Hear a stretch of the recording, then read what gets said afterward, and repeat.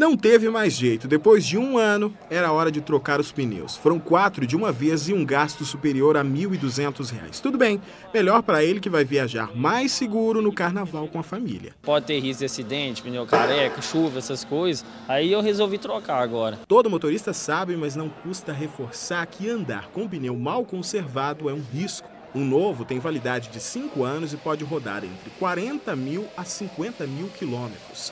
O pneu precisa ter esses altos relevos, a profundidade ideal é de 8,5 milímetros de profundidade para a água passar e ter aderência ao solo. Não pode é deixar ficar assim, careca. Você sentiu o pneu mais é, desgastado? Quais são os sintomas, digamos assim, né?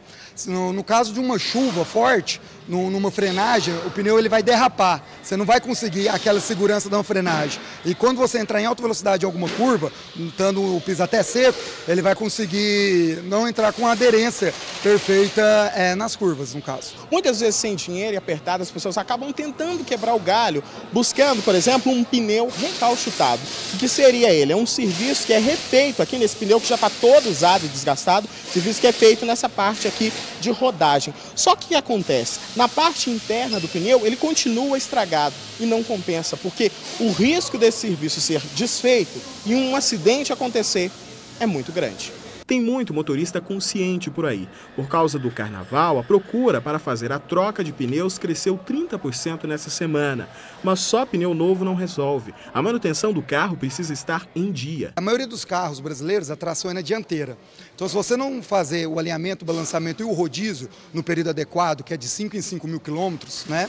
no máximo de 10 em 10 mil, é, vai ocasionar o quê? No desgaste dos pneus da dianteira. Então, se o pneu ele é recomendado para rodar 50 mil quilômetros e você não fizer esse tipo de rodízio e manutenção, ele vai rodar a metade, né? A multa para quem anda nas estradas com pneus e o carro sem condições de uso é de R$ 127,00 e 5 pontos na carteira. A Polícia Rodoviária Federal vai ficar de olho no estado dos veículos durante a operação de carnaval que começou nesta madrugada. É importante que as pessoas é, atentem para essa questão de segurança segurança, de condição do veículo, para não ter aí o dissabor de ficar parado na estrada, né? Porque o veículo está é, sem step ou está sem a chave de roda, sem triângulo.